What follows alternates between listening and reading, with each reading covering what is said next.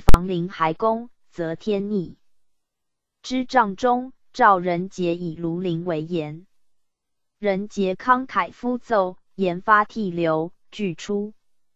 中宗谓仁杰曰：“还清楚君。”仁杰将皆泣贺，既已，奏曰：“太子还公，人无知者，勿议安审是非，则天以为然。”乃复。至中宗于龙门，据礼迎归，人情感悦。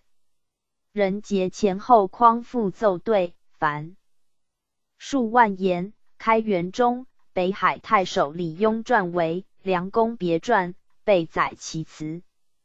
中宗反正，追赠司空。睿宗追封梁国公。人杰族曾孙坚摩。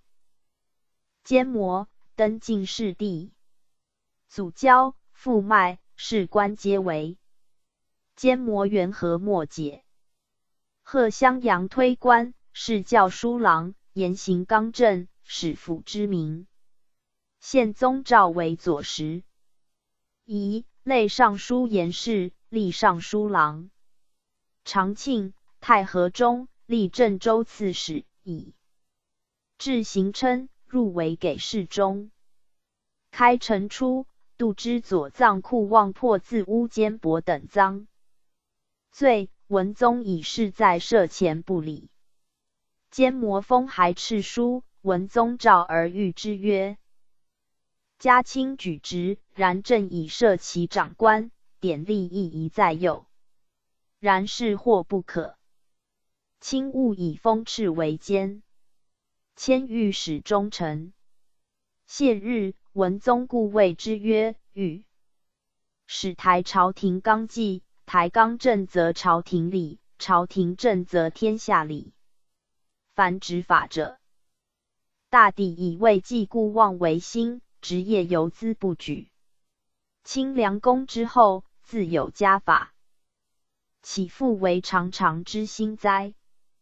坚摩谢曰：“朝法或未得中，臣故悉心。” P.G. 一千九百七十七。弹奏。会江西观察使吴氏举为额加给军士，破关前数十万计。坚摩奏曰。观察使守陛下土地，宣陛下诏条，临戎赏军，州有定数。而是举与多有己，盈缩自专，不为一弊一方，必致诸君原力，请下法司，正行朝典。是举作贬蔡州别驾，兼摩巡转兵部侍郎。